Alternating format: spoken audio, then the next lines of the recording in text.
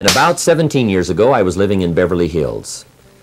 And I was going through all the notes that I'd gathered up during that five-year period.